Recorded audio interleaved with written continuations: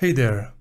In the Git Bash terminal on Windows, the MinGW64 purple text is displayed. In this step-by-step -step video, I'll explain MinGW64, why it shows up by default, and how to remove it to save some visual space. Let's get started. The MinGW64 purple text indicates that you are running Git Bash within a minimalist GNU for Windows 64-bit environment. You can reconfirm this by running echo dollar sign m system. MinGW offer Unix-like tools such as ls, cd, or vim, and also a bash shell for Git operations.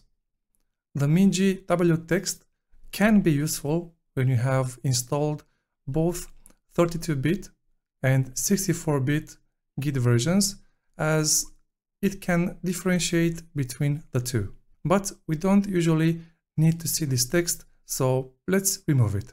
Open your favorite text editor as administrator and then let's open this git prompt file which can be located at c program files git etc profile.d folder and then scroll down a bit until you find these two lines of code and let's comment them out by adding this hash or number sign in front of them. Then save the file and let's reopen the git bash terminal. And as you can see, the MinGW64 purple text is no longer displayed. Alright, that was it. If you enjoyed this video, consider checking out the other tutorials on this channel. Wishing you a wonderful day and I look forward to catching you in the next one.